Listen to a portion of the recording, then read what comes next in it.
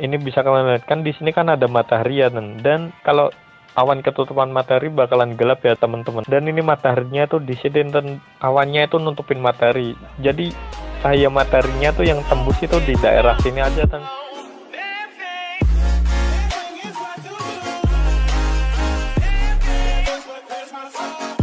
Hai guys, bertemu lagi dengan Nubra di channel Nubra Terlihat dan kali ini saya main Minecraft lagi dan, dan di video kali ini aku bakalan mereview shader atau menshowcase shader ya dan, shader ini tuh sangat keren banget. Dan aku bilang ini keren karena emang keren dan, dan kerennya itu juga berat dan berat banget.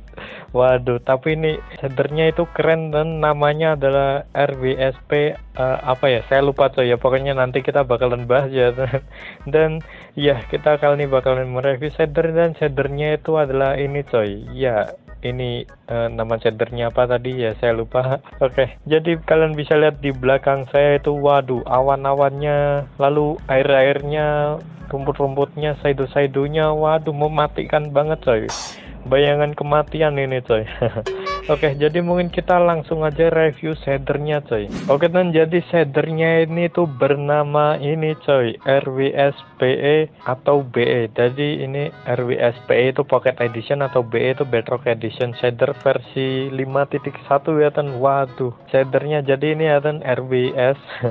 lalu di deskripsinya ada Android, iOS, Windows 10, lalu ada Realistic World Shadow B Shader Creator by CD World Games. Oke, mantap jadi shadernya tuh ini tuh mantap kan dan di shadernya ini tuh ada seperti ini ya dan dan ini tuh namanya apa ya? Saya lupa kayaknya itu supek ya dan uh, saya kurang tahu juga. Pokoknya ini tuh yang ngatur dan kalian mau seberapa yang kalian aktifin. Ini kan kalau di belakangin sini jadi ini yang seperti water realistis lalu ada awan ada matahari lalu awan sama matahari refleksi di air gitu. Lalu ada tanaman move atau tanaman bergerak ya dan, dan ini kalau kita aktifin paling belakang itu nggak ada ya dan atau nggak berefek nggak bakalan hidup ya tapi kalau kita beginiin ini bakalan ada yang aktif ada yang nggak aktif. Lalu ini juga sama lalu yang terakhir itu aktif semua. Dan yang pastinya kalau yang paling kanan atau rata kanan yang biasa dibilang gitu ya dan itu bakalan nge-lag dan kalau kalian device-nya itu nggak kuat dan kalau ya minim ya dan spek minim itu nggak bakalan kuat coy. Dan ini aku bakalan mero merofes mereview yang mungkin yang low dulu aja dan ini karena ada tingkatannya. Seperti tingkatan yang menurut aku itu itu bagus dan kenapa? Karena si player atau si pengguna shader ini itu bisa menyesuaikan mau pakai yang mana ya dan seperti waduh device-nya kan gak kuat ya dan kita bakalan pakainya tuh yang low aja atau device-nya ini terlalu dewa kita bakalan yang rata kanan bodoh amat gitu ya coy. Oke kita bakalan mencoba yang ini dulu ya dan ini apa ini? Ini semi medium atau semi low ini? Kalau low kan ini ini apa nggak tahu di sini apa pokoknya kita bakalan coba yang di sini atau enggak yang ini ya kan mungkin awannya kita nggak blurin ya kan oke kita bakalan coba yang ini kan dan kita bakalan langsung masuk ke boardnya coy. Stop ultra did you touch before you slow? Oke. Okay. nggak bisa bahasa Inggris. Jadi kalian jangan mengetes ultra sebelum kalian itu mengetes yang low medium untuk mungkin buat seperti ngetes device kalian atau HP kalian itu kuat atau enggak ya dan takutnya nanti kalau kalian itu ngehang gitu coy Oke dan kita udah masuk ke wordnya dan ini bisa kalian lihat ini move apa ini move plan ya dan atau move tumbuhannya itu keren banget coy. Ini seperti MCPC loh dan seperti shader apa ya namanya Sildur atau Zeus ya jadi ini tuh seperti diterjang angin beneran ya dan waduh udah nggak sepoi-sepoi lagi coy. Kayak apa itu? Kayak ulet bergerak ya dan ini seperti angin sungguhan coy. Waduh ini keren banget loh dan asli. Aku suka bagian yang geraknya coy. Dan awannya ini seperti ini ya dan ini awannya realistis banget dan tapi ini belum aku aktifin yang blur cloud coy atau yang awannya itu ada blur blurnya dan dan ini awannya itu juga bergerak dan, dan jika awan yang realistis ini bergerak. Jadi kalau kita ngadep ke awan kalau HP-nya itu nggak kuat bakalan nge-lag seperti saya ini ya dan enggak ngelag sih frame drop gitu aja dan kalian bisa lihat kan kalau saya ngadep ke langit itu bakalan seperti patah-patah gitu ya dan tapi kalau kita di daratan seperti ini bakalan lancar jaya coy. Waduh mantap. Oke dan kita jangan lihat air dulu karena airnya tuh super keren parah coy Oke, kita bakalan mereview apa ya, dan Mungkin kita bakalan mereview bayangan kematiannya dulu, coy, atau shadow-shadownya, dan oke. oke dan shadownya itu seperti ini ya dan dia nggak pakai yang namanya itu seperti uh, shadow yang ada opacity rendah opacity tinggi itu atau ngeblurnya gitu ya dan hitam-hitamnya. Jadi ini kayaknya langsung kotak atau enggak uh, ada blurnya cuma itu sedikit banget ya dan minim banget. Jadi ini tuh kerasa kotak banget coy. Masih coy. Jadi mantap banget coy. Waduh. Oke dan di sini daun-daunnya itu juga bergerak dan bisa kalian lihat kan? Jadi geraknya itu nggak gerak terus ya dan seperti ulat jalan gitu ya dan tapi ini tuh geraknya realistis banget coy. Kalau ada angin itu jadi bergerak kalau nggak ada angin nggak bakalan gerak gitu coy. Konsepnya ya. Oke dan di sini tuh bayangannya gelap juga ya. Jadi bikin realistis coy. Mantap Oke kita mereview. Mungkin kita langsung review airnya aja dah. Mungkin kalian juga udah nggak sabar ya kan kenapa review airnya tuh di pertengahan atau di akhir-akhiran? Ya karena airnya tuh sangat keren parah coy. Dan ini bentar-bentar ini main sore aja dah. Oke dan ini bisa kalian lihat airnya ini gila dan.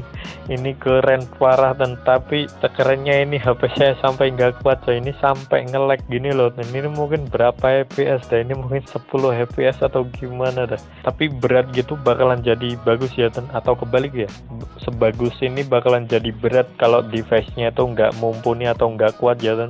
Tapi ini reflectionnya itu realistis parah dan asli. Kalian bisa lihat kan kalau di atas itu ada awan. Iya bener ada awan. Lalu ini ada reflectionnya coy. Mantap.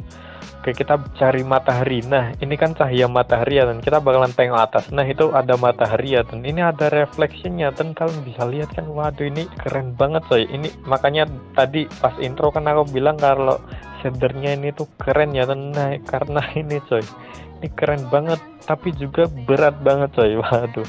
Ini padahal saya masih review yang medium spek ya ten atau semi medium atau apalah pokoknya yang tingkatan satu ya ten.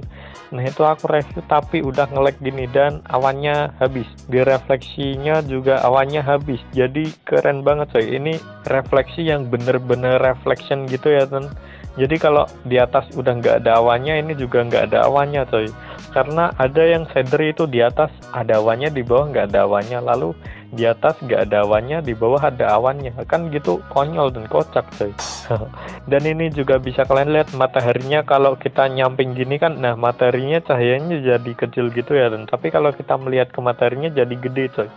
Ini jadi seperti realistis banget ya dan. Coba deh kalian keluar rumah kalian lihat matahari nanti kalian kalau menghadap ke matahari itu bakalan mataharinya tuh seperti jadi gede gitu ya ten atau jadi ngeblur coy. Itu adalah cahaya yang ngeblur ya ten. Dan ini hujan. Waduh ini hujan keren. Para awannya bisa kalian lihat kan? Awannya tadi itu ngembang jadi seperti awan mendung coy. Dan mataharinya juga ketutupan. Waduh asli ini keren coy. Parah ini keren. Ini shader. Menurut aku ini shader yang terkeren yang pernah aku coba coy. Asli. Ini seperti MCPC beneran loh dan ini bisa kalian lihat kan di sini kan ada matahari ya dan dan kalau awan ketutupan matahari bakalan gelap ya teman-teman. Dan ini mataharinya tuh di sini awannya itu nutupin matahari. Jadi cahaya mataharinya tuh yang tembus itu di daerah sini aja dan dan di lainnya itu bakalan jadi gelap seperti ini coy. Waduh mantap banget.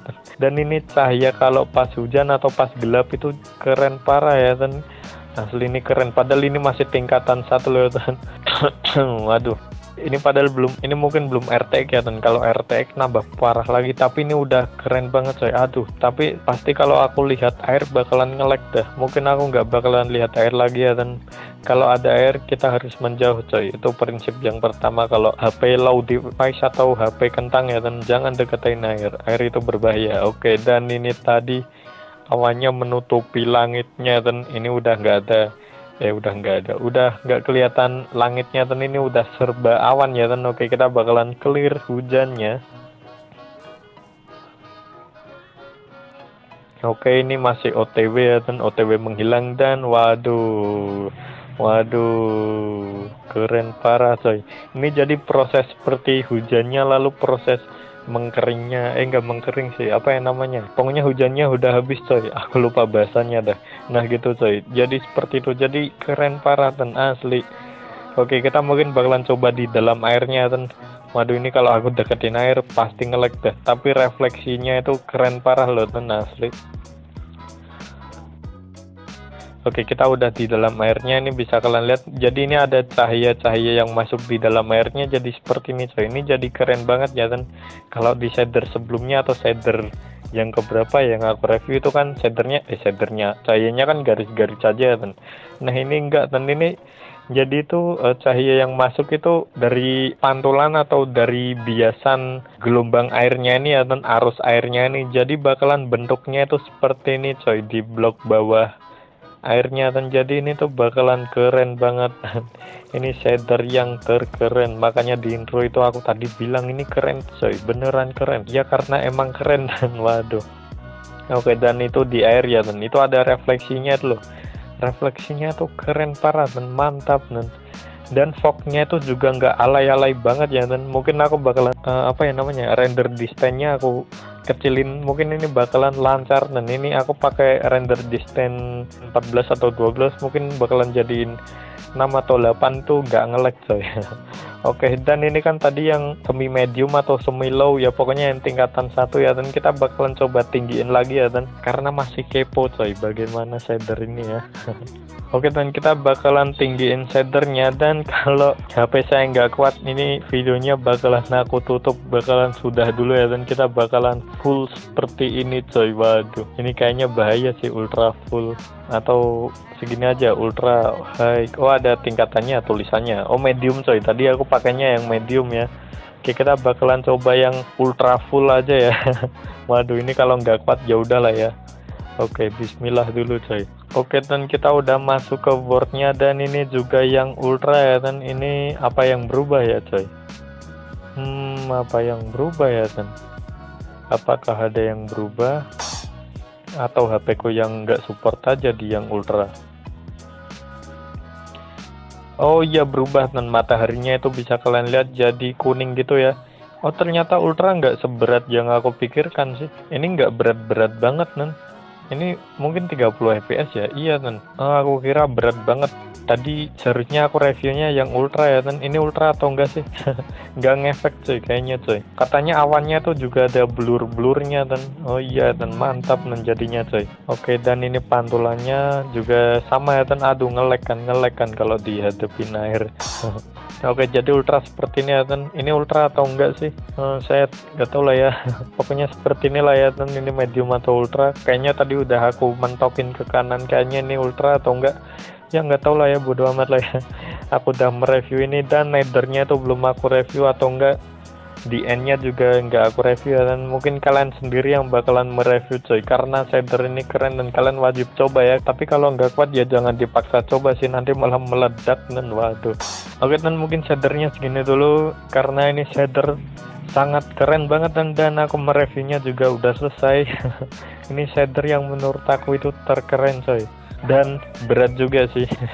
Mungkin kalau bagus itu bakalan seimbang sama rata atau seimbang atau tegak lurus ya. Bahasa matematikanya gimana ya? Waduh nggak tahu lah. Pokoknya kalau semakin bagus itu juga bakalan semakin ngelek ya pokoknya rinciannya begitulah ya. Udah amat lah ya.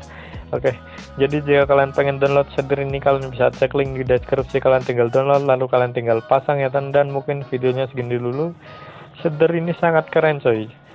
Jadi kalau begitu jangan lupa tekan like, share, comment, and subscribe. Like, like, like. Kalian wajib coba. Ini sangat keren. Sampai jumpa di video selanjutnya. See ya.